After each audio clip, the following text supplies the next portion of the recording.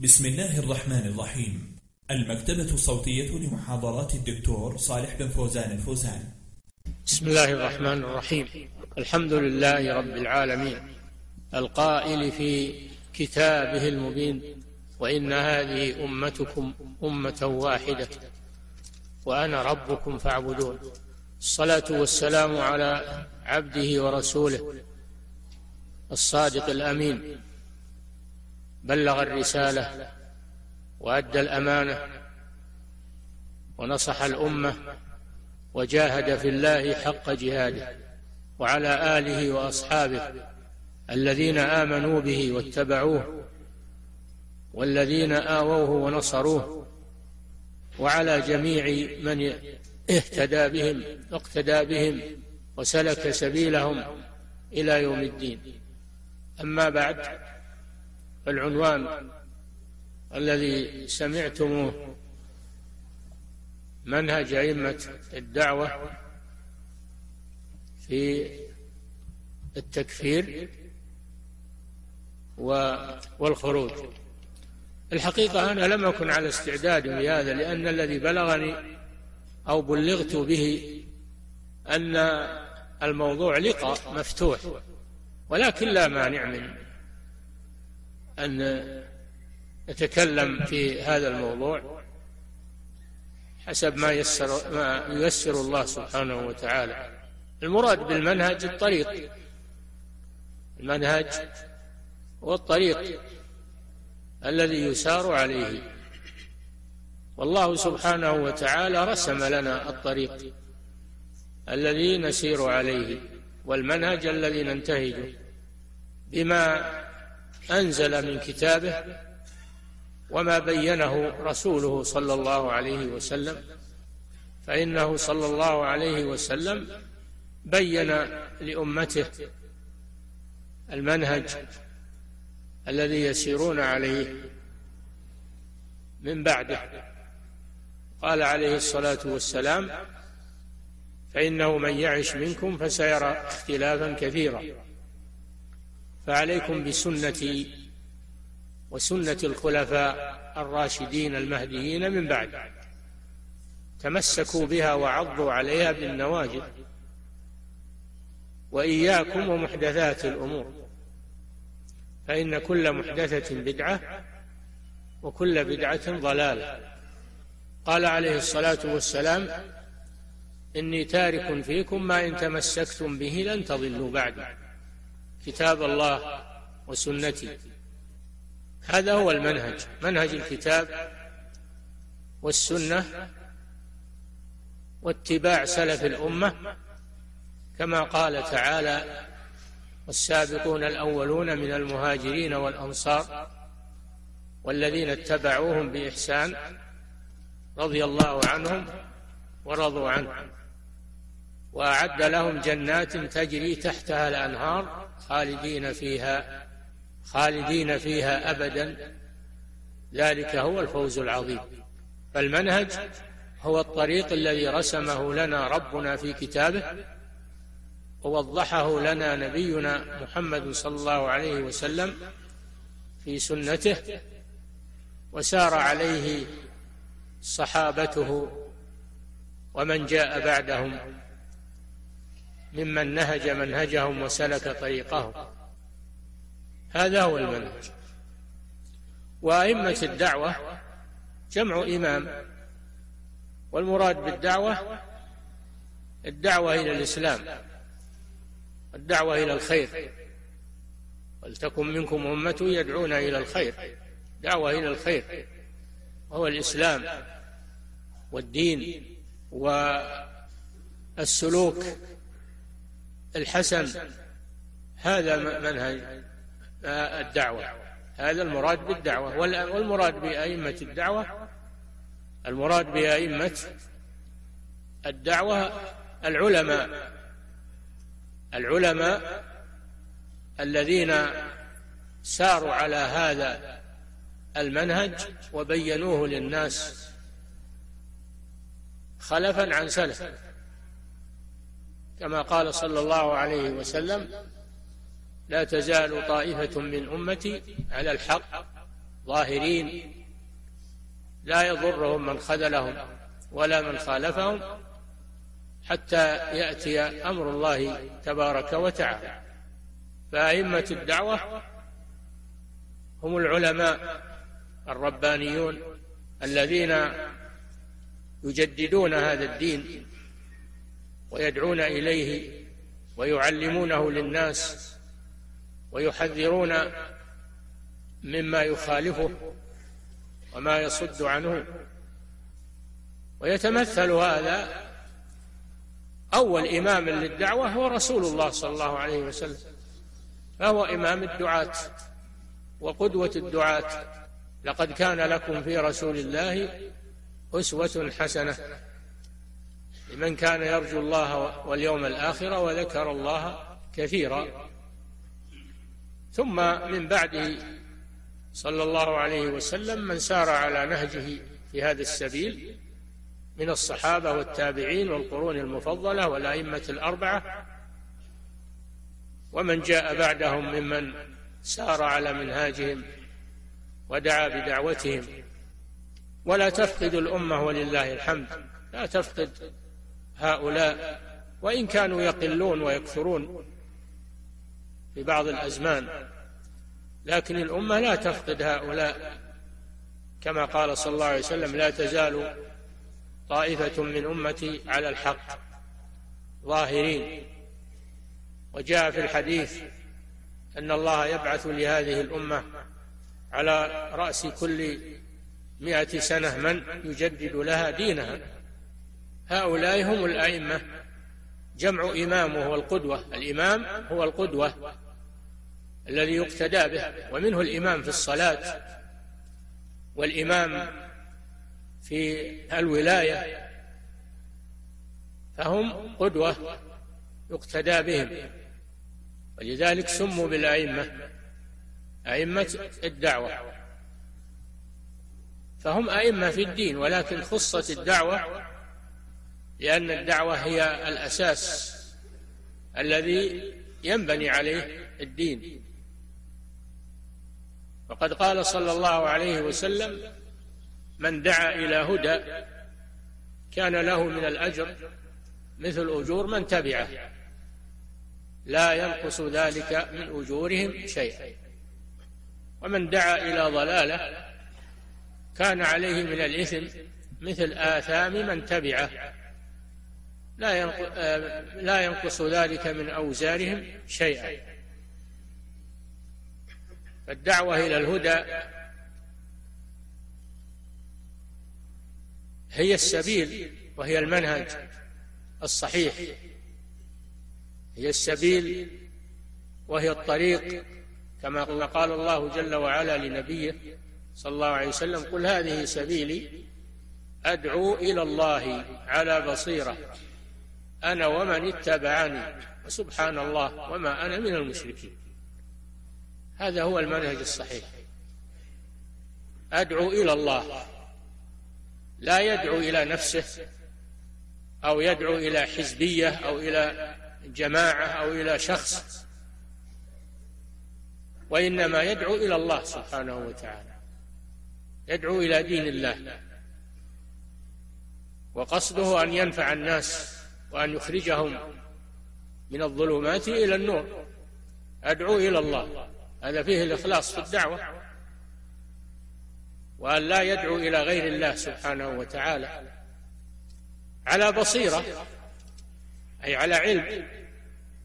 فلا يصلح للدعوة إلا من كان على بصيرة متسلحة بالعلم.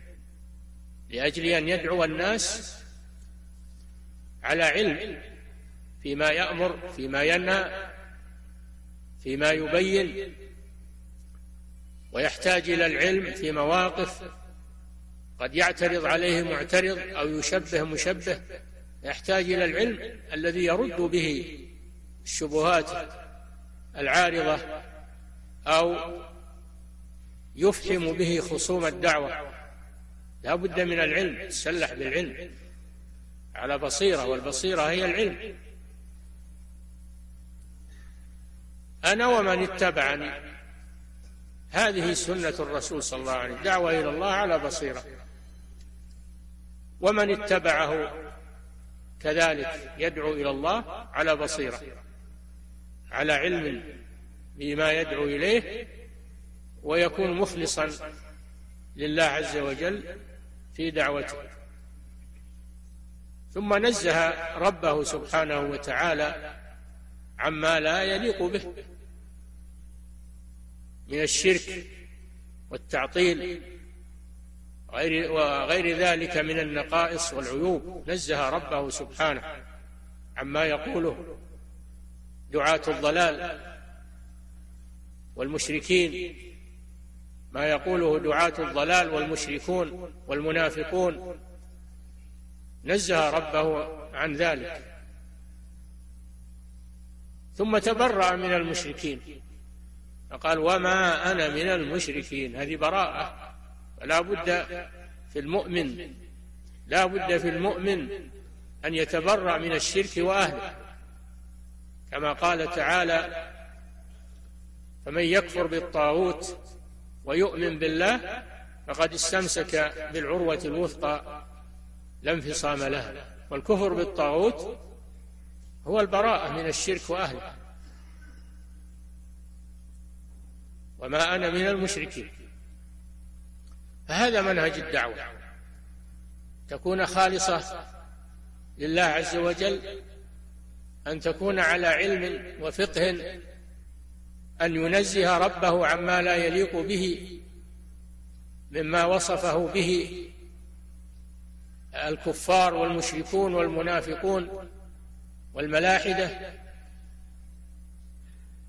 وهذا أس هذا أساس الدعوة تنزيه الرب سبحانه بالتوحيد ونفي الشرك والتعطيل. هذا أساس الدعوة. وسبحان الله وما أنا من المشركين. أما الداعية الذي يخلط ولا يميز بين مشرك وموحد بين مؤمن ومنافق بين مبتدع وسني كل الناس عنده سواء فهذا ليس على منهج الرسول صلى الله عليه وسلم لأنه لم يتبرأ من المشركين.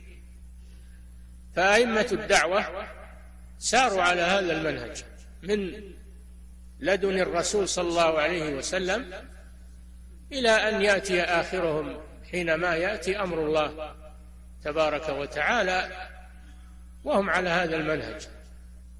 لا يتغيرون ولا تؤثر فيهم الأحداث والمتغيرات. على امتداد الزمن هم ثابتون صامدون على كتاب الله وسنة رسول الله ومنهج السلف الصالح. وإن كانوا يلاقون ما يلاقون من الأذى والتعب والعنت لكن يصبرون على ذلك. هؤلاء هم أئمة أئمة الدعوة. ويتمثل هذا في من جاء بعد الرسول صلى الله عليه وسلم من الأئمة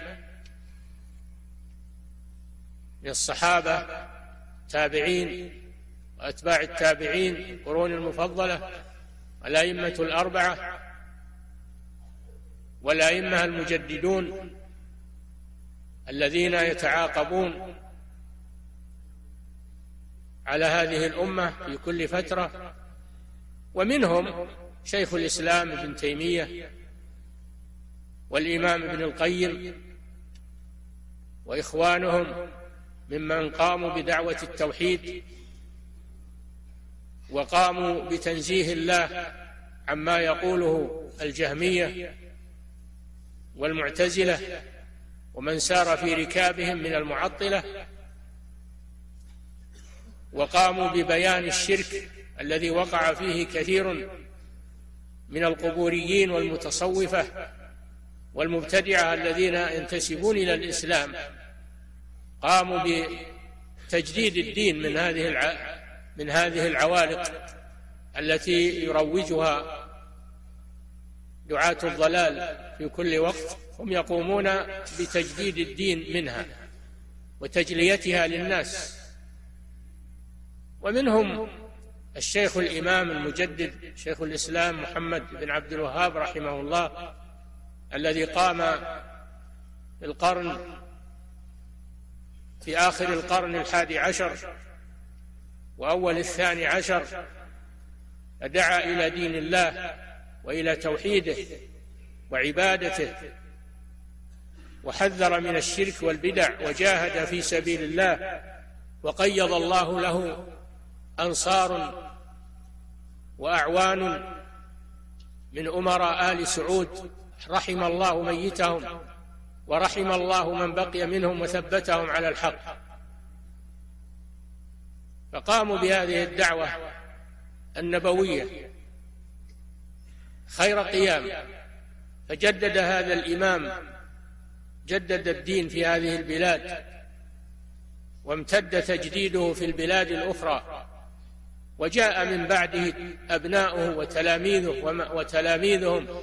ومن جاء بعدهم لا يزالون ولله الحمد يتوارثون هذه الدعوة المباركة ويحافظون عليها ويدعون إليها ويردون على من عارضها أو اعترض سبيلها حتى تصل إلى من شاء الله من عباده. ونسأل الله أن تستمر وأن يكثر الخير في الأمة وأن يكثر الدعاة إلى الله والأئمة المصلحون في كل مكان.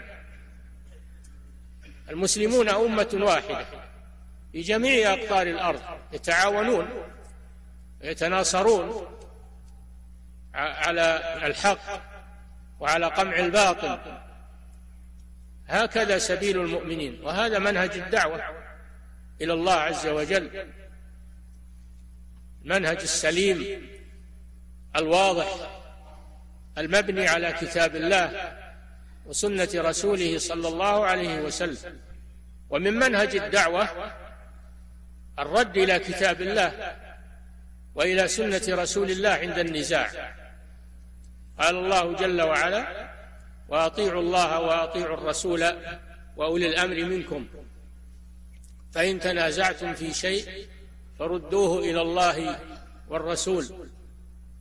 ذلك خير وأحسن تأويلا. وقال سبحانه وتعالى ما اختلفتم فيه من شيء فحكمه إلى الله. ذلكم الله ربي. عليه توكلت وإليه أنيب. فالنزاع إذا حصل بين الناس لا بد يحصل نزاع بين الناس. سنة الله في خلقه.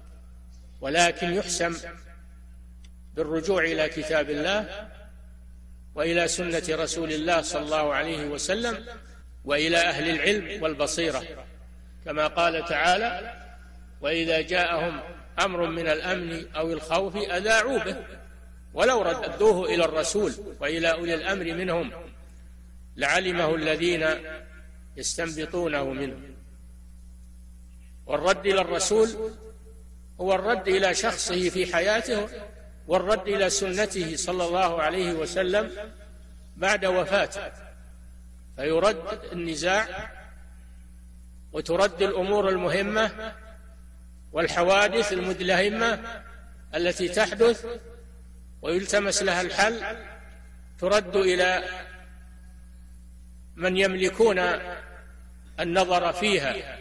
ببصيرة إلى الرسول وإلى أولي الأمر منهم الذين جربوا الأمور عندهم علم وعندهم بصيرة وعقول وتجربة فيرد الأمر إليهم في ما أشكل من الأمور العامة يرد إلى أولي الأمر حتى ينظروا فيه على مقتضى الكتاب والسنة وما ترد الأمور إلى أولي الأمر وإلى سنة الرسول صلى الله عليه وسلم وإلى أولي الأمر إلا ويوجد لها الحل الصحيح.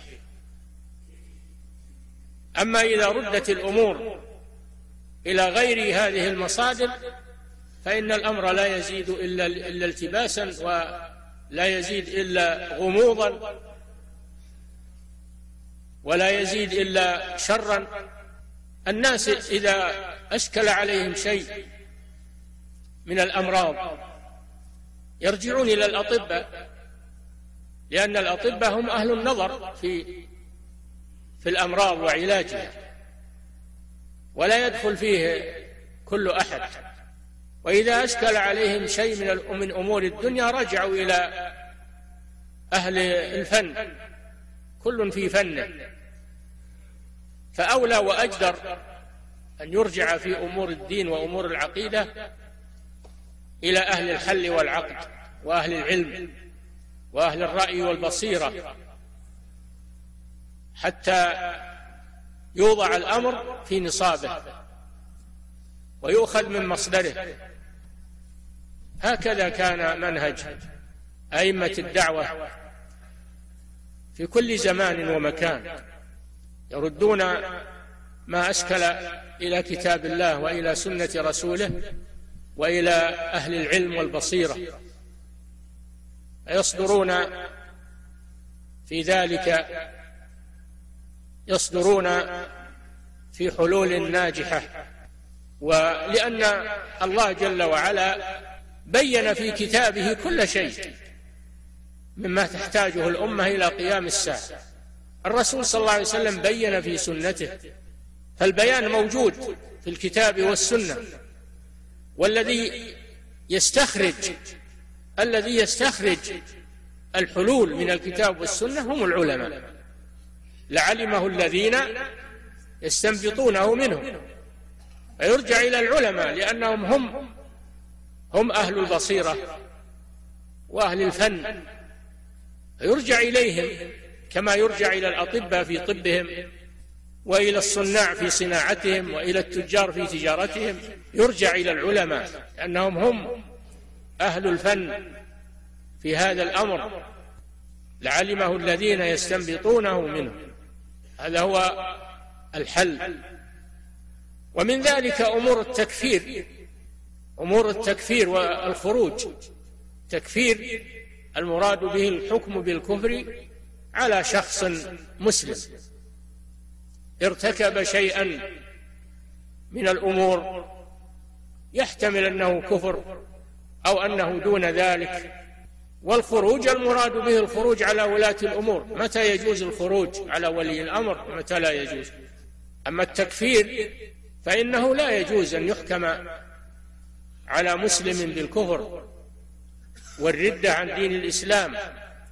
إلا إذا قام به سبب من أسباب الردة وناقض من نواقض الإسلام وليس له عذر يعذر به. ولا يعرف هذا إلا أهل العلم. أما الطلبة وأنصاف المتعلمين و أو المتعالمون هؤلاء لا يرجع إليهم في هذا الأمر لأنهم يزيدون الأمر شدة.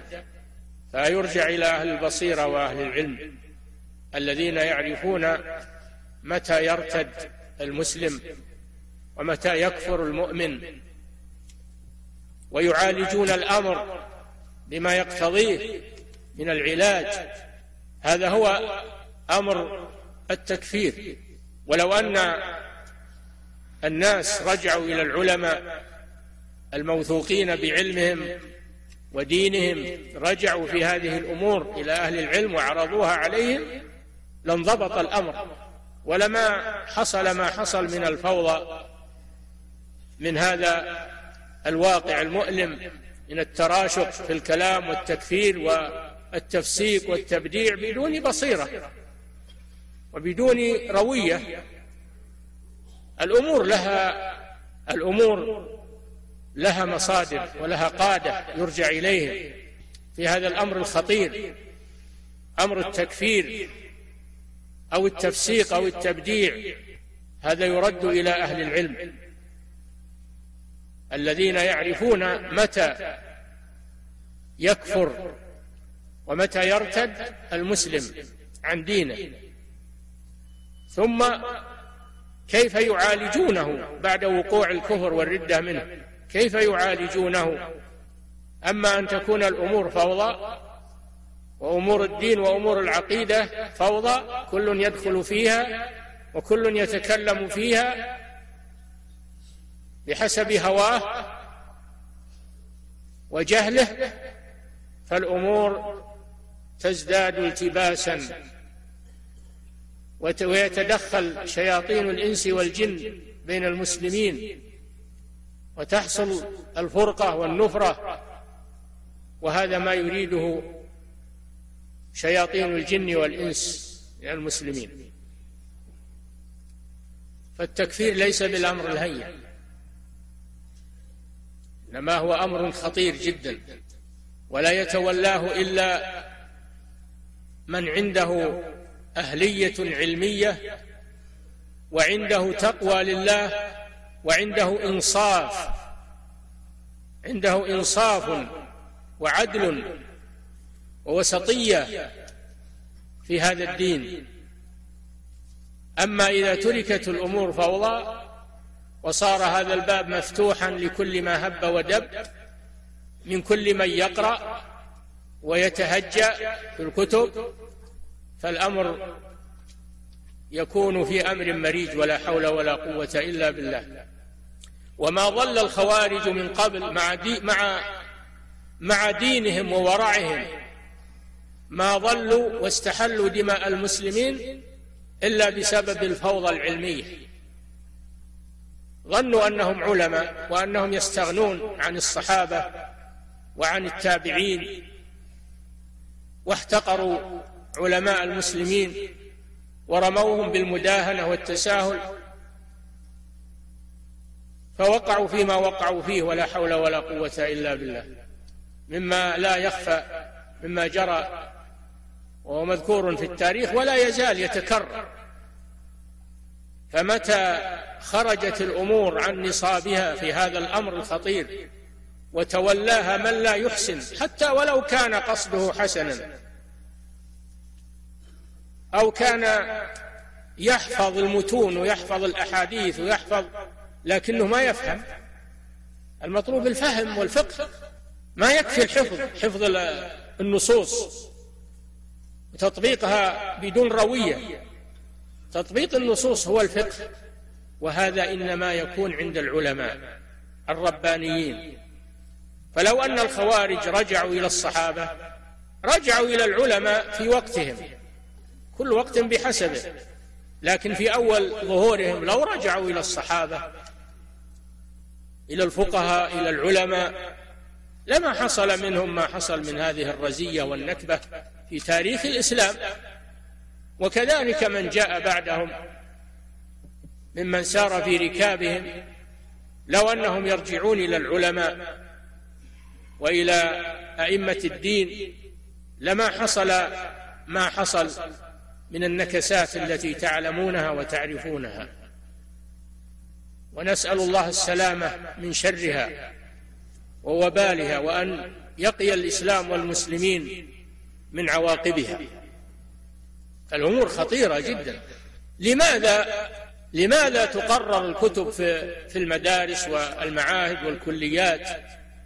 لماذا تقرر الكتب وتدرس في المساجد إلا لأجل معرفة إلا لأجل معرفة هذا الأمر والبصيرة فيه حتى يكون المسلم على بصيرة فيما يأتي وفيما يذر. فالإنسان أول شيء ينظر في نفسه هل هو على الصواب؟ هل هو على الجادة؟ هل عنده علم يؤهله للكلام؟ ثم إذا كان عنده علم هل يجوز له أن يتكلم في كل مناسبة وفي كل ينظر الإنسان في نفسه أولا. ورحم الله امرأ عرف قدر نفسه. لو أن الإنسان نظر في نفسه لا أحجم عن كثير من الأمور. فالتكفير أمر خطير. ويرجع إلى من قاله. من قال لأخيه يا كافر يا فاسق يا عدو الله. وهو ليس كذلك رجع كلامه عليه. الكلام ما يروح هدر. بل يرجع إلى من قاله ولا حول ولا قوة إلا بالله. فهو يكفر نفسه ويفسق نفسه ويبدع نفسه لأنه أطلقه على من لا يستحق هذا الشيء فرجع عليه كلامه. لو أن الإنسان يتصور هذا لعقل لسانه. ولم يتكلم إلا عن بصيرة وعلم وحسب ما يقتضيه المقام. أما الخروج الله جل وعلا يقول وأطيعوا الله وأطيعوا الرسول وأولي الأمر منكم. أمر بطاعة ولاة أمور المسلمين. قال منكم يعني من المسلمين. ولاة أمور المسلمين. أمر بطاعة ولاة أمور المسلمين. وبين النبي صلى الله عليه وسلم أن طاعة ولاة أمور المسلمين من طاعة الرسول صلى الله عليه وسلم. قال من؟ أطاع الأمير فقد أطاعني ومن عصى الأمير فقد عصاني. وقال اسمعوا وأطيعوا. أوصيكم بتقوى الله والسمع والطاعة. وإن تأمر عليكم عبد فإنه من يعش منكم فسيرى اختلافا كثيرا وقال اسمعوا وأطيعوا إلا أن تروا كفرا بواحا عندكم عليه من الله برهان. فولي الأمر المسلم تجب طاعته ما لم يأمر بمعصية. قال صلى الله عليه وسلم لا طاعة لمخلوق في معصية الخالق سواء كان ولي أمر أو والد أو غير ذلك أو عالم من العلماء. لا يطاع في معصية الله أيا كان. لا طاعة لمخلوق في معصية الخالق. وقال عليه الصلاة والسلام إنما الطاعة بالمعروف. ولكن ليس معنى ذلك أن ولي أمر المسلمين إذا أمر بمخالفة أو معصية أنه يخرج عليه بل لا يطاع في هذه المعصية فقط. وتبقى طاعته في غيرها مما ليس بمعصية. هذه مسألة. المسألة الثانية حتى وإن وإن كان ولي الأمر عنده فسوق عنده معاصي مخالفات ما لم يصل إلى حد الكفر فإنه تجب طاعته. تجب طاعته بالمعروف لما في طاعة ولاة أمور المسلمين وإن جاروا وإن ظلموا وإن عصوا لما في ذلك من جمع الكلمة. واستتباب الأمن وحقن الدماء وقوة المسلمين. أما الخروج عليه بحجة الأمر بالمعروف والنهي عن المنكر كما فعلت الخوارج وكما وكما تقول المعتزلة خروج على ولي الأمر المسلم الذي لم يصل إلى حد الكفر من أجل إزالة معصيته أو فسقه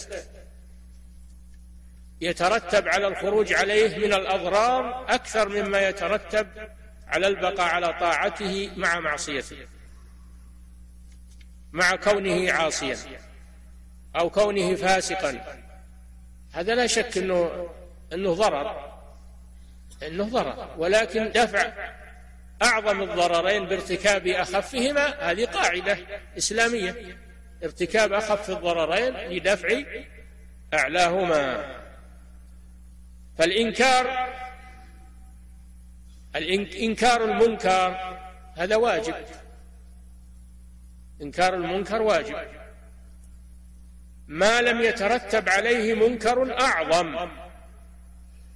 فالذين يخرجون على ولي الأمر بحجة أنه عاصي وأنه فاسق لأجل إزالة إمارته أو ولايته حتى يتولى رجل صالح هذا يترتب عليه من المفاسد أكثر مما يترتب عليه من المصالح. تسفك دماء المسلمين يختل الأمن يتسلط العدو يضعف المسلمون. فما دام أن ولي الأمر لم يكفر الكفر المخرج من الملة فإنه تجب طاعته ويصبر على ما عنده من المخالفات لكن ليس معنى ذلك أنه لا ينصح بل يناصح. وتكون النصيحة سرا بين الناصح والمنصوح.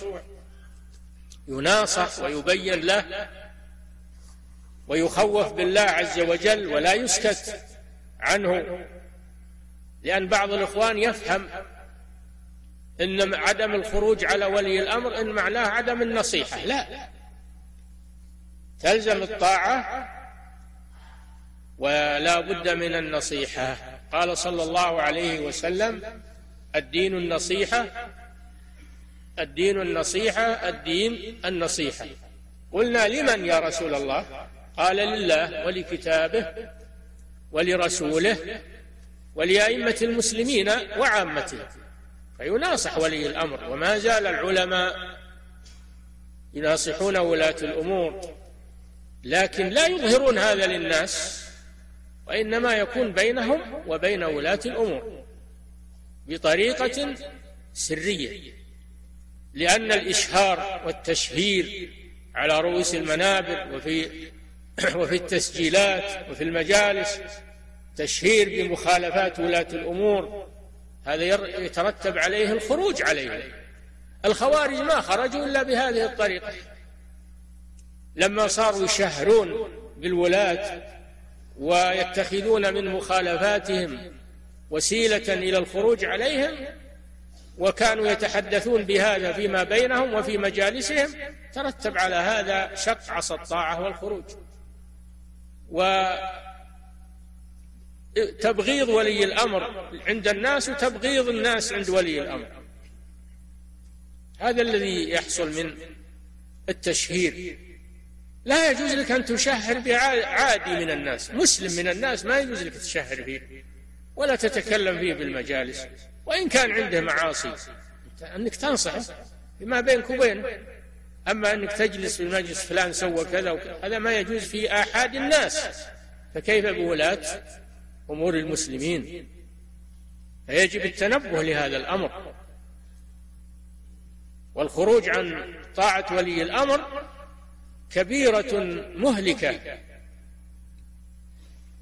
فمن خرج عن الجماعة من خرج عن الجماعة ومات فميتته جاهلية. يموت على الجاهلية ولا حول ولا قوة إلا بالله. فلا يجوز للإنسان أنه بدافع من غيرته أو من أو يتخذ من الأخطاء. التي لا تصل إلى حد الكفر يتخذ منها وسيلة لإسقاط هيبة ولاة أمور المسلمين والحث على الخروج عليه لأن هذا هو الذي شوه التاريخ وهذا هو الذي حذر منه الرسول صلى الله عليه وسلم من الصبر على ولاة الأمور وإن جاروا وإن ظلموا. وإن حصل منهم مخالفات ما لم تصل إلى حد الكفر البواح. ومن هو الذي يحكم بالكفر البواح؟ هم العلماء. لأن فيه ناس الآن من المتعالمين يحكمون بأشياء أنها من الكفر البواح. ويحكم ويكفرون ولي الأمر بأمور لا تصل إلى حد الكفر. وإنما هي معاصي مخالفات. فيكفرون ولي الأمر. كما أنهم يكفرون المسلمين وآحاد الناس لكن تكفير ولي الأمر أشد. لأن ضرر تكفير ولي الأمر يرجع على المسلمين عموما. أما تكفير آحاد الناس هذا إنما يرجع ضرره على الأفراد. لكن تكفير ولي الأمر المسلم هذا يعم ضرره على المسلمين. والمطلوب جمع الكلمة توحيد الصف وإصلاح الخلل والتناصح. هذا هو المطلوب. فالواجب على طلبة العلم أن يتقوا الله سبحانه وتعالى وأن يضعوا الأمور في مواضعها اللائقة بها وألا دخلوا في أمور ليست من صلاحياتهم وليسوا مؤهلين لها.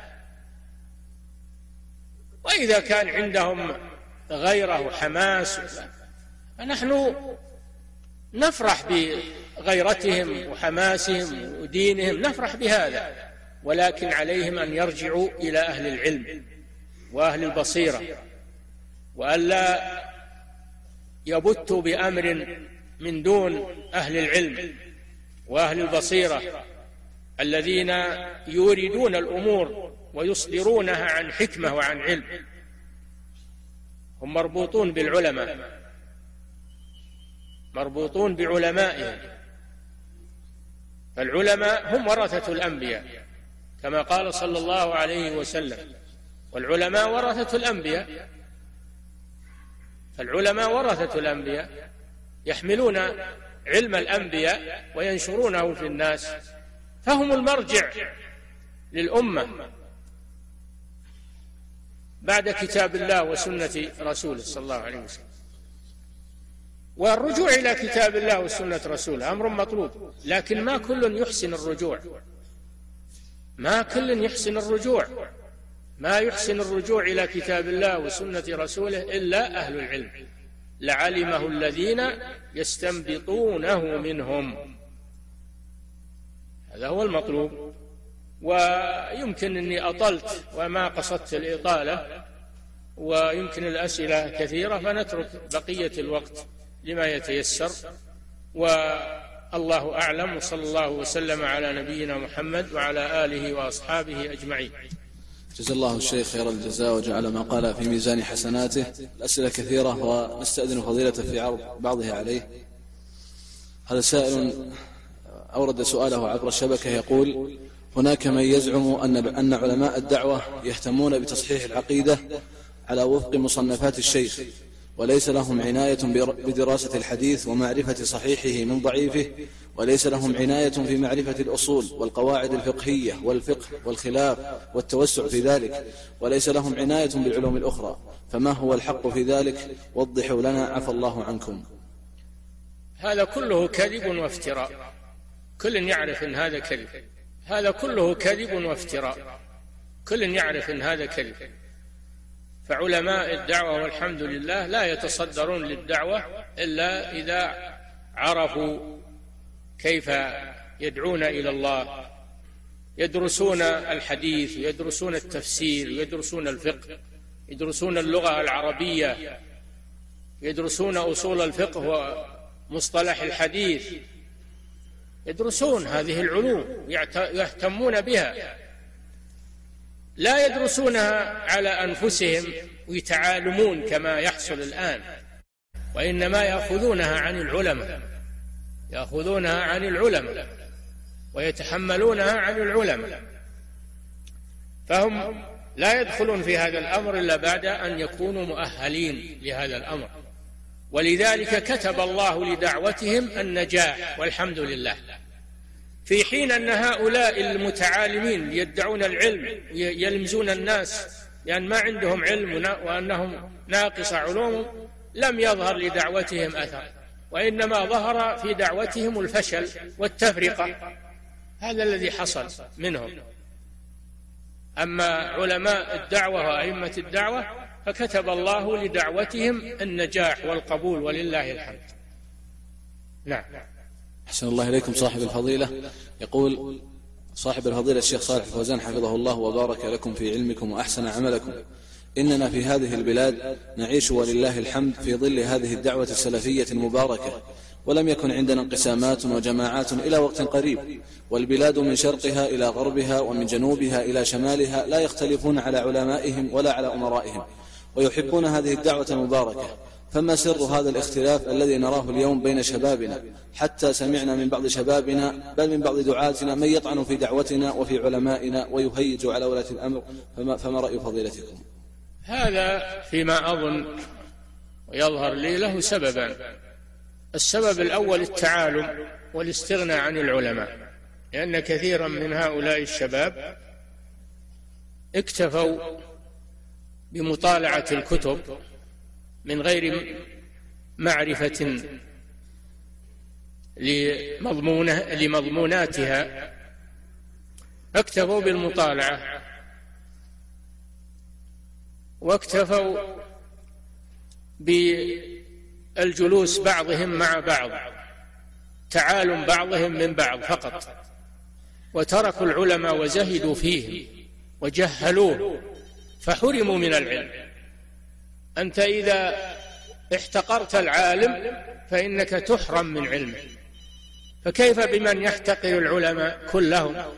هذا يحرم من العلم نهائيا. هذه ناحية. الناحية الثانية بحكم تقارب البلدان ووسائل الإعلام التي يبث فيها كل شر وكل فتنة وكل دعاية أثرت في عقول كثير من الشباب. الأمر الثالث دعاة السوء الذين يتخللون في مجتمعنا ويأتون من هنا وهناك يحملون أفكارا هدامة وينشرونها بين شبابنا. هذه الأسباب الثلاثة في نظري هي التي سببت انعزال هؤلاء. وادعائهم أنهم على علم وأن غيرهم جهال ولا يعرفون شيئا. نعم. أحسن الله إليكم. هذا سائل يقول يا شيخنا نحبكم في الله. السؤال هو ما حكم مسألة العذر بالجهل في مسائل التوحيد والشرك؟ ومتى يعذر الإنسان بالجهل؟ أفتون مأجورين. الذي يعذر بالجهل هو الذي لم يبلغه القرآن. لم يبلغه شيء عن الإسلام يعيش منقطعا ولم تصل إليه الدعوة ولا سمع القرآن. أما الذي يسمع القرآن ويسمع الأحاديث يسمع كلام أهل العلم هذا ليس بجاهل. قال تعالى وأوحي إلي هذا القرآن لأنذركم به ومن بلغ. فمن بلغه القرآن وهو يفهم العربية. والقرآن فيه النهي عن الشرك والنهي عن الكفر بالله عز وجل وفيه الأمر بالتوحيد بلغته الدعوة. وليس له عذر. نعود ونجمل الجواب فنقول الجهل الذي لا يمكن زواله لأنه يعيش منقطعا ولا عنده أحد يبين له هذا يعذر أما الجهل الذي يمكن زواله لكونه يعيش عند العلماء وبين المسلمين ويسمع القرآن ويسمع الأحاديث هذا لا يعذر بالجهل لأنه هو المتساهل وهو المفرط والمضيع. نعم. أحسن الله إليكم. يقول نعم. يقول هل الخلاف الحقيقي بين أهل السنة والمعتزلة في مسألة واحدة فقط؟ وهل أنتم قلتم بذلك؟ خلاف بين أهل السنة والمعتزلة في مسائل كثيرة. أهمها التلقي. المعتزلة لا يتلقون عقيدتهم من الكتاب والسنة وإنما يتلقونها من علم الكلام قواعد المنطق والجدل ولا يستدلون بالآيات ولا بالأحاديث وإنما يستدلون بالقواعد المنطقية وعلم الكلام وأهل السنة يأخذون عقيدتهم من كتاب الله ومن سنة رسول الله صلى الله عليه وسلم ومن هدي السلف الصالح. أهل السنة يؤمنون بما جاء في الكتاب والسنة من أسماء الله وصفاته على ما يليق بالله ويثبتونه المعتزلة ينفونها. ينفون الأسماء والصفات عن الله جل وعلا ويعطلونه من أسمائه وصفاته. أهل السنة يثبتون القضاء والقدر الذي هو ركن من أركان الإسلام من أركان الإيمان. القضاء الإيمان بالقضاء والقدر ركن من أركان الإيمان الستة. المعتزلة لا يؤمنون بالقضاء والقدر ينفون القضاء والقدر ويقولون إن العبد يخلق فعل نفسه ولم يقدر عليه الله الإيمان ولا الكفر ولا الأفعال وإنما هو مستقل بنفسه. هذا كيف يجتمع المعتزلة مع أهل السنة على هذه المخالفات الكبيرة؟ نعم. أحسن الله إليكم. يقول ما معنى قول الأئمة ولا نكفر أحدا من المسلمين بذنب ما لم يستحله؟ وهل الاستحلال يكون بالفعل أم بالقول؟ المقصود بالذنب الذي دون الكفر والشرك. الذنب الذي دون الكفر ودون الشرك. كالزنا والسرقة وشرب الخمر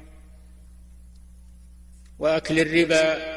هذه معاصي كبائر من كبائر الذنوب لكن لا يحكمون على المسلم إذا ارتكبها بالخروج من الملة حتى يستحلها فإذا قال الربا حلال أو الخمر حلال أو الزنا حلال فإنه يحكم عليه بالكفر لأنه استحل ما حرم الله.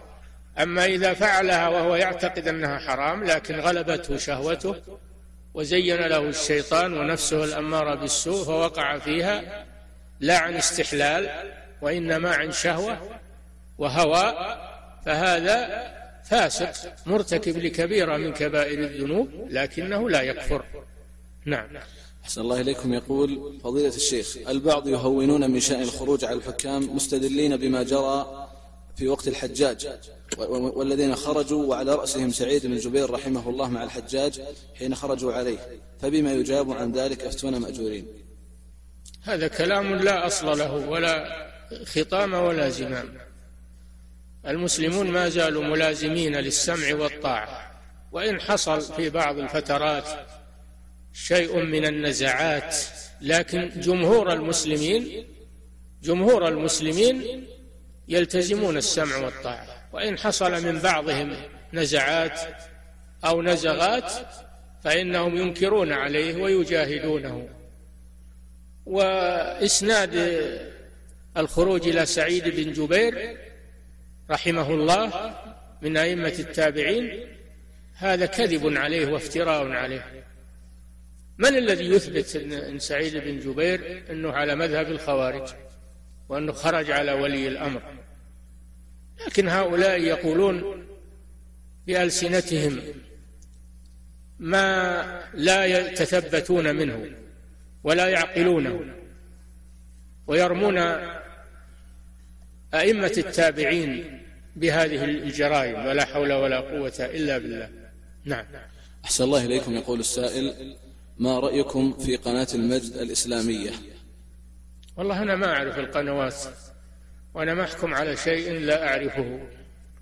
نعم. هذا سائل يقول هل الخوارج كفار أم لا؟ وجزاكم الله خيرا. اختلف العلماء في الخوارج هل هم كفار أو ليسوا كفارا؟ الجمهور على أنهم ليسوا كفارا. لأنهم أخطأوا يقصدون الحق لكنهم أخطأوا. وهم من أشد الناس عبادة وخوفا من الله عز وجل. لكنهم اجتهدوا فأخطأوا. فيعتبر فعلهم هذا من الفسق الاعتقادي من الفسق الاعتقادي. ولا يحكمون عليهم بالكفر. ولما سئل أمير المؤمنين علي بن أبي طالب رضي الله عنه عن الخوارج مع أنه يقاتلهم. قالوا أكفار هم يا أمير المؤمنين. قال من الكفر فروا يعني اللي حملهم على هذا هو خوفهم من الكفر. اللي حملهم على القتال وعلى هو خوفهم من الكفر. وظنوا ما ليس كفرا كفر من من من شدة خوفهم من الكفر. فعذروهم بالجهل ولم يكفروهم. وهناك من العلماء من يحكم بكفرهم. لظاهر الأحاديث يمرقون من الدين كما يمرق السهم من الرمية. الله أعلم. نعم. أحسن الله إليكم صاحب الفضيلة. يقول السائل يوجد بعض الشباب يتهمون الشيخ عبد العزيز بن باز والشيخ ابن عثيمين بأنهم من مرجئة العصر وأنهم من أضل الأمة. فما نصيحتكم لهؤلاء؟ على كل حال هذا ما هو غريب. اللي ما يوافقهم على هواهم يحكمون عليه بالإرجاء أو بغيره من المذاهب. حكموا على على ابن باز وعلى ابن عثيمين بالإرجاء لأنهم لا لم يخرجوا على ولي الأمر ولم يكفروا المسلمين وهم يريدون منهم ذلك لكن لما عجزوا عنهم حكموا عليهم بالإرجاء. هذا كلام بالهوى والعياذ بالله واتهام لهؤلاء الإمامين بما ليس فيهم. ما عرفنا عنهم إلا الخير والاستقامة والاعتدال والحث على لزوم آه، الكتاب والسنة ومنهج السلف. هذا الذي تعلمناه منهم وعرفناه منهم رحمهم الله. نعم. لكن لما لم يوافقوا هؤلاء على نزعاتهم ونزغاتهم رموهم بالإرجاء. نعم. لأن الذي لا يكفر المسلمين مرجي عندهم. نعم. أحسن الله إليكم صاحب الفضيلة. يقول السائل ما رأي فضيلتكم في هذا القول؟ وهو أن أحدهم يقول في قيادة المرأة إنها لا توجد هذه القضية وتحريمها في سورة الأنفال حتى لا نطرح النقاش فيها. والثاني يطالب بالتآخي مع الشيعة وفتح مدارس خاصة بهم. والثالث يتهم كتب أئمة الدعوة ومنها الدر السنية بأنها سبب واقع في التكفير. هذا والله هذا كله هذيان لا نشتغل به. كل هذيان لا نضيع الوقت في الكلام هذا. والقرآن والسنة بينزل آية بأن المرأة ما تقود السيارة. هل القرآن نزل في بيان كل شيء أو أن القرآن جاء بقواعد عامة وضوابط عامة ونصوص عامة يستنبط منها الأحكام الشرعية ومنها قيادة المرأة للسيارة؟ قيادة المرأة للسيارة ماذا يلزم عليها؟ يلزم عليها محاذير. ما هو بالكلام في أنها تمسك مقود السيارة وتحركها؟ هذا تحريك آلة لكن ما يلزم عليها من أنها ستكشف وجهها أمام الرجال ستخالط الرجال ستراجع المرور. إذا حصل لها مراجعة ستتعطل سيارتها في البر وهي امرأة ضعيفة. فيلزم على القيادة محاذير شرعية. ما تت... ما. تليق بالمرأة. هذا. هذا سبب منع المرأة من قيادة السيارة. ما يلزم عليها من المحاذير. أيضا المرأة المرأة عليها قوامة للرجل. فإذا قادت السيارة ما يملكها الرجل. شغل السيارة وتروح اللي هي تبي. سافر. معه مفتاحه ومعه رخصة القيادة تروح للي هي تبي. يصير وليها ما ما يسيطر عليها ولا يملكها هذا من مفاسد قيادة المرأة للسيارة. نعم. أحسن الله إليكم. يقول قال أحدهم في كتاب له أن عقيدة الشيخ محمد بن عبد الوهاب توافق عقيدة السلف في الجملة. فهل هذا الكلام صحيح؟ الحمد لله أنه اعترف أنه توافق عقيدة السلف في الجملة. ونطالبه بالأشياء التي لم يوافق فيها الشيخ من التفاصيل. نطالبه بهذا. يكفينا أنه اعترف بأنها توافق عقيدة السلف في الجملة ونحن نطالبه بالتفاصيل التي لم يوافق فيها السلف. وإلا فهو كذاب. نعم. أحسن الله إليكم. يقول هل يقال في من قاموا بالتفجيرات في هذه البلاد أنهم من الخوارج؟ على كل حال هذا إفساد في الأرض.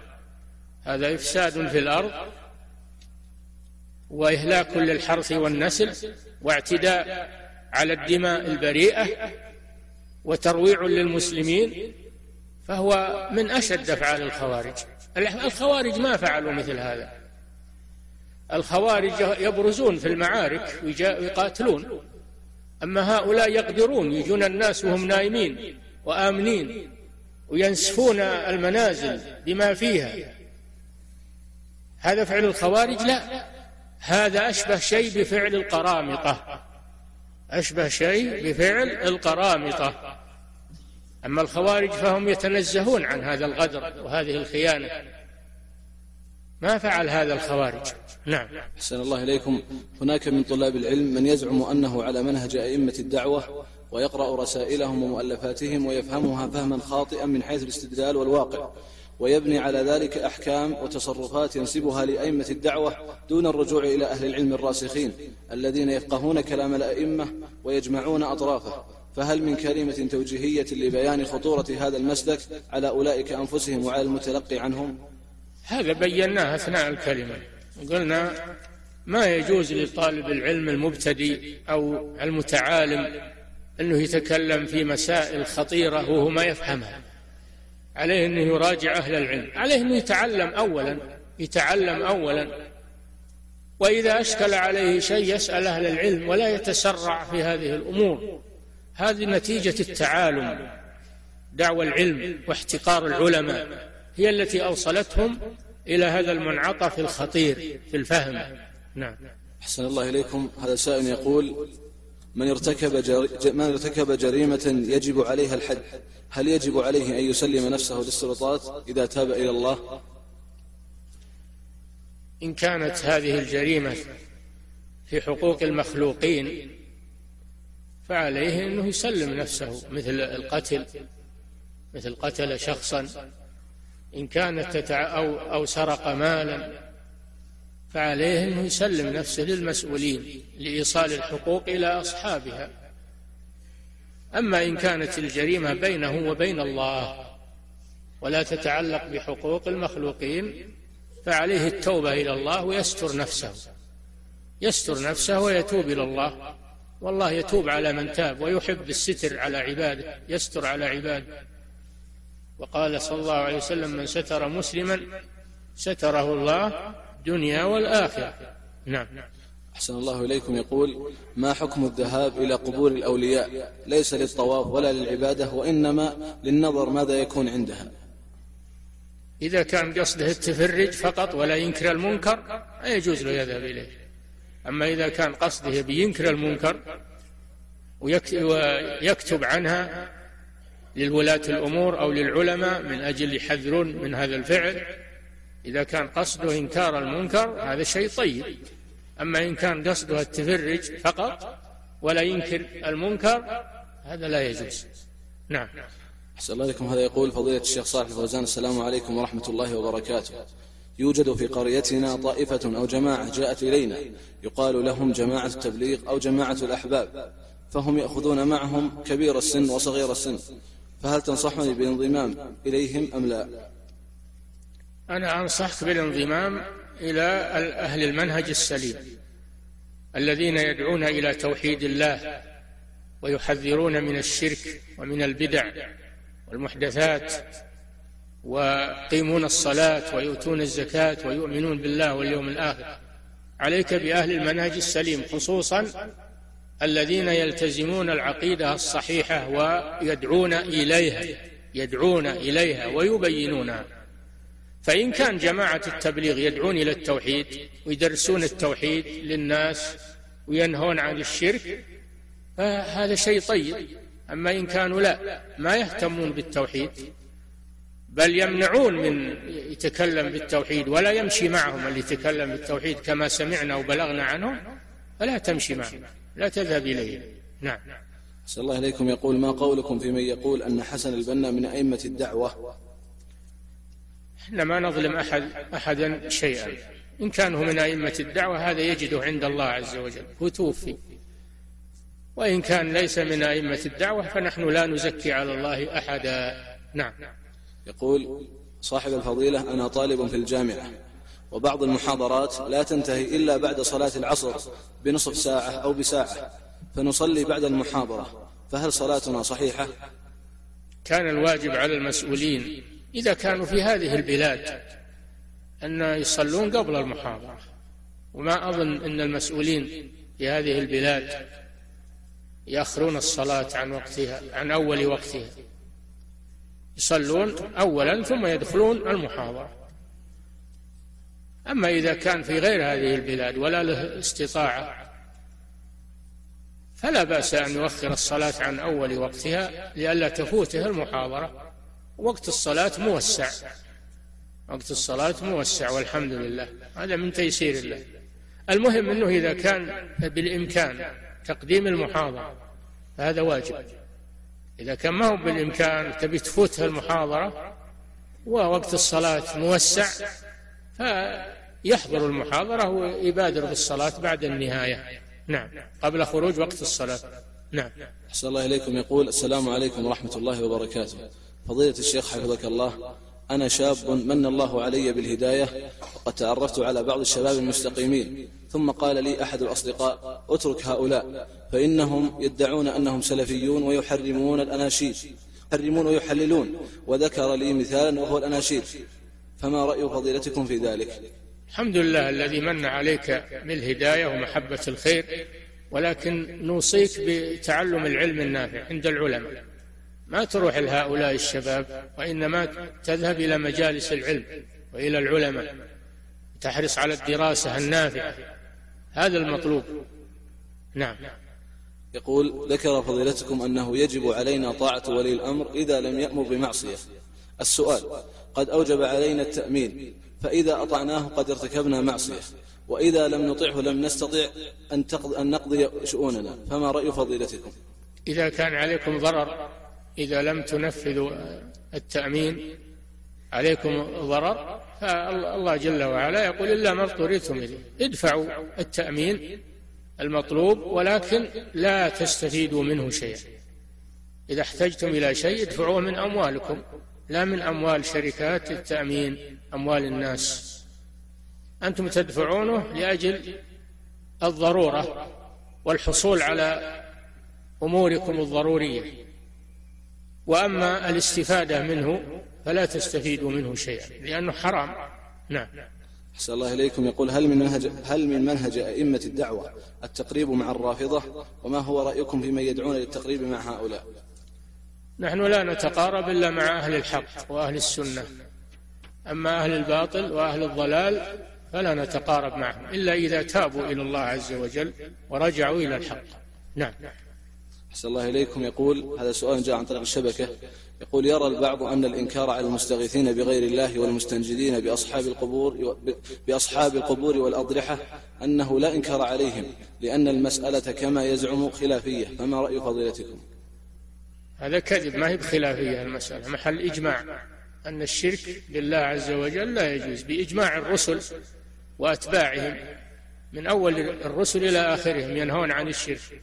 فهم مجمعون على النهي عن الشرك بالقبور وغيرها والمخالف لا قيمة لمخالفته.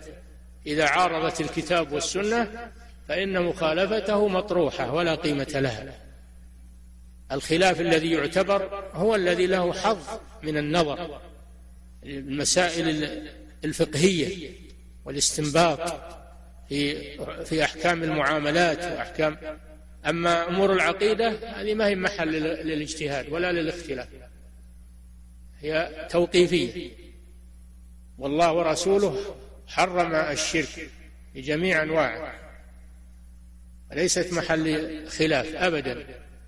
والمخالف في هذا لا عبرة بمخالفته.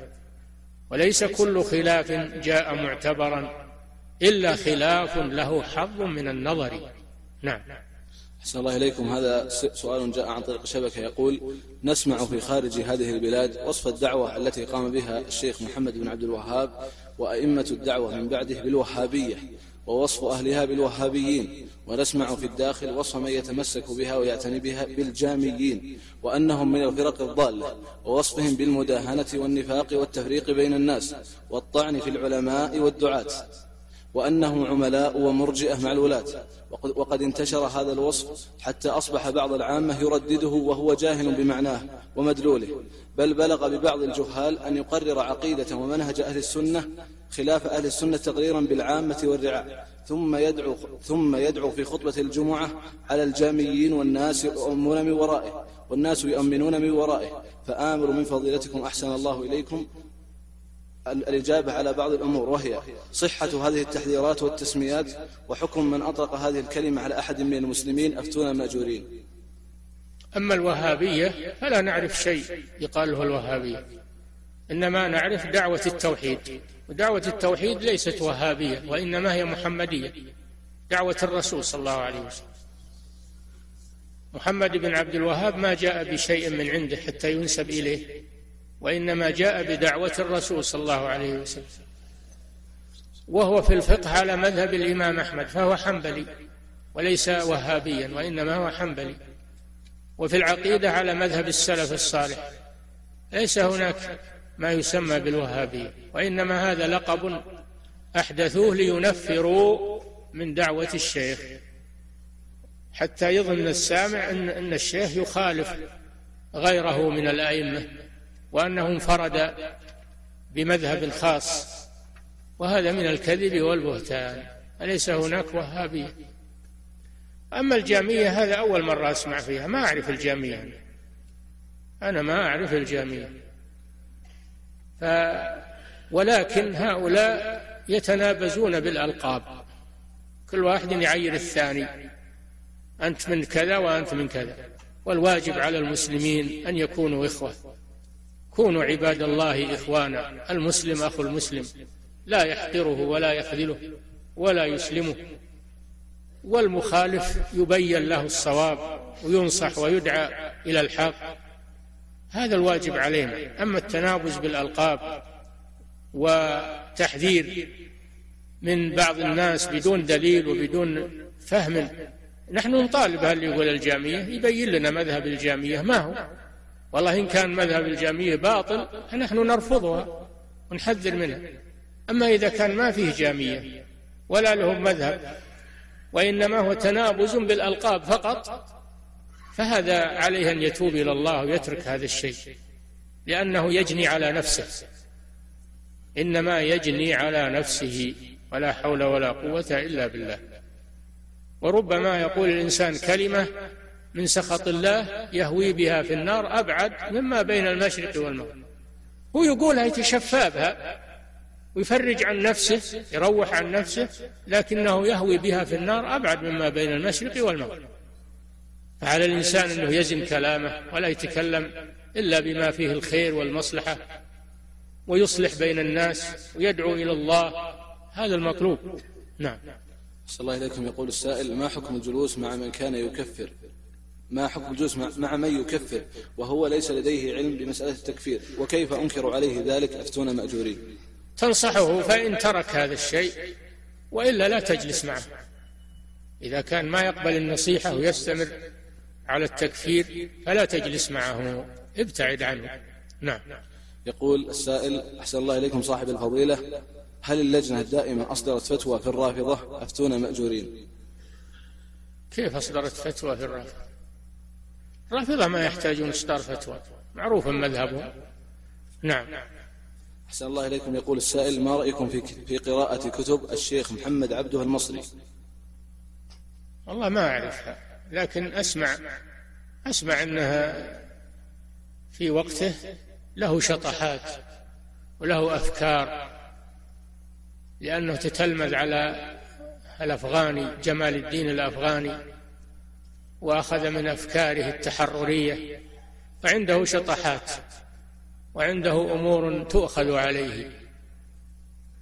فلا أنصح بقراءة كتبه. وفي كتب أهل العلم النافعة غنية ولله الحمد. نعم. أحسن الله إليكم. يقول ما سبب إطلاق كلمة أئمة الدعوة على الشيخ محمد بن عبد الوهاب وأبناؤه من بعده؟ أئمة الدعوة كما ذكرنا تشمل كل من دعا إلى الله من أهل العلم. من عهد الرسول صلى الله عليه وسلم إلى قيام الساعة. وإنما القصد أن هؤلاء قاموا بالدعوة في هذه البلاد فسموا بذلك سموا بذلك تقديرا لجهودهم. وكل من دعا إلى الله في أي بلاد فهو من أئمة الدعوة. نعم. أحسن الله إليكم. يقول هل الشيخ المجدد محمد بن عبد الوهاب رحمه الله يعتبر محدثا أم فقيها؟ أفتونا مأجورين. يعتبر عالما يعتبر عالما بالفقه والحديث والتوحيد والعربية تشهد بذلك كتبه ومؤلفاته فإنها تشهد بأنه متبحر في علوم الشريعة. نعم. صلى الله عليكم. يقول ما هي ضوابط الجهاد؟ وهل يجوز اليوم الجهاد أم أنه قتال؟ الجهاد إذا دعا إليه ولي أمر المسلمين وكون الجيوش للغزو هذا الجهاد. أما بدون راية بدون قيادة ولي الأمر هذا لا يعتبر جهادا يعتبر تصرف فردي تصرف فردي. الله أعلم بمآله ونتائجه. نعم. إنما الجهاد المنظم القائم على سنة الرسول صلى الله عليه وسلم الذي يكون له راية وله أمير ويرجع إلى إمام المسلمين. هذا هو الجهاد الصحيح. نعم.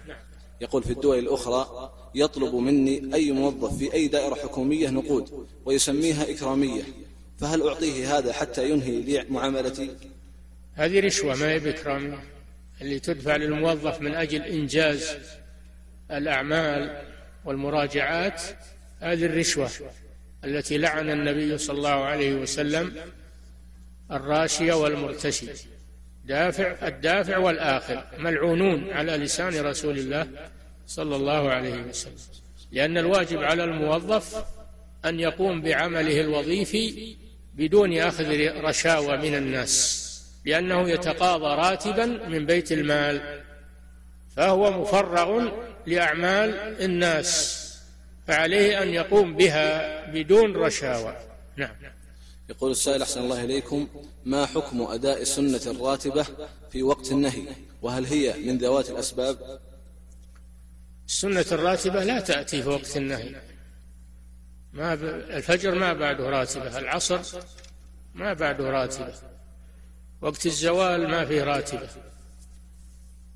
فلا فيه رواتب في وقت النهي. لكن ذوات الأسباب مثل صلاة الكسوف مثل صلاة الجنازة ركعة الطواف هذه تفعل عند وجود أسبابها في أي وقت.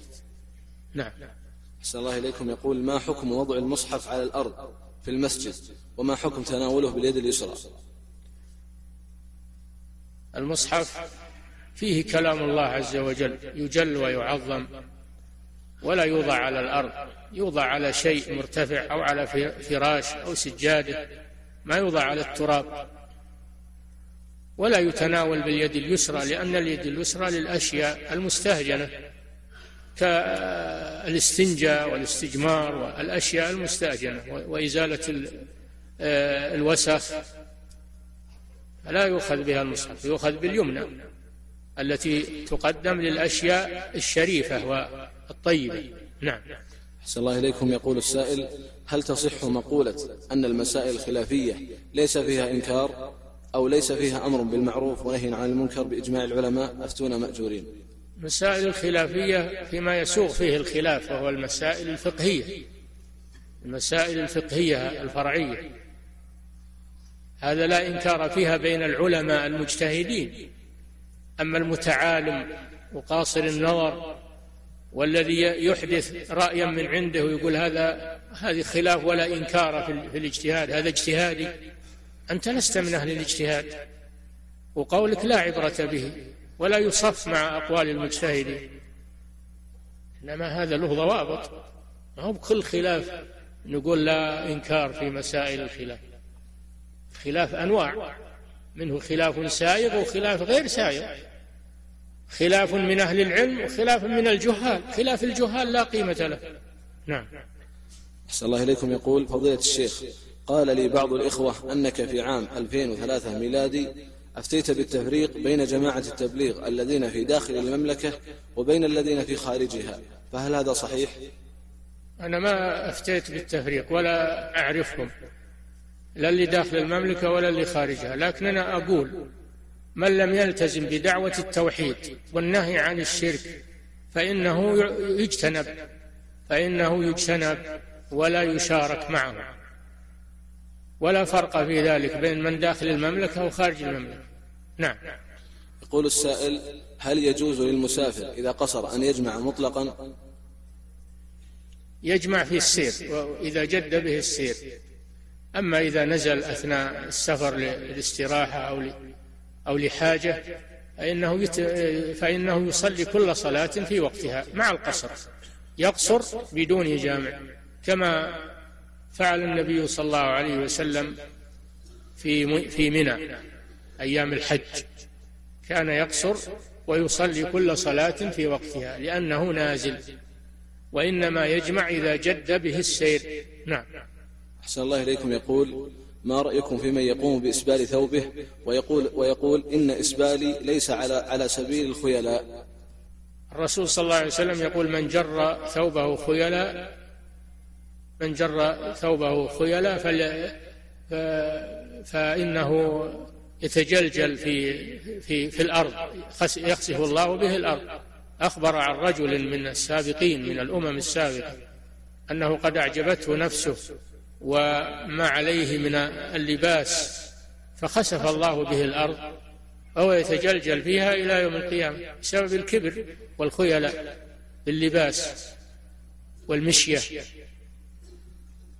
وإسبال الثياب حرام سواء معه خيلاء أو ليس معه خيلاء إن كان معه خيلاء فهو أشد. من ناحيتين من ناحية الإسبال ومن ناحية الخيلاء أما إن كان خو... إن كان إنه جر اللباس بدون خيلاء فيحرم لأنه إسبال وقد قال صلى الله عليه وسلم ما كان أسفل الكعبين فهو في النار. ما كان أسفل الكعبين فهو في النار. ولم يقل خيلاء بل علق الحكم بنزوله عن الكعبين. نعم. أحسن الله إليكم صاحب الفضيلة. يقول ما حكم جلسة الاستراحة في الصلاة هل هي سنة أم لا؟ أفتونا مأجورين. خلاف بين العلماء والصحيح أنها ما هي بسنة وإنما تفعل عند الحاجة. إذا فعلها الإنسان لحاجته أنه كبير السن أو مريض يحتاج إليها يفعلها. أما إذا كان قويا فإنه لا يفعلها. لأن الرسول صلى الله عليه وسلم إنما فعلها لما ثقل في آخر حياته عليه الصلاة والسلام. أما قبل ذلك ما ما كان يجلس للاستراحة. دل على أنها تفعل للحاجة فقط. هذا مذهب جمهور أهل العلم.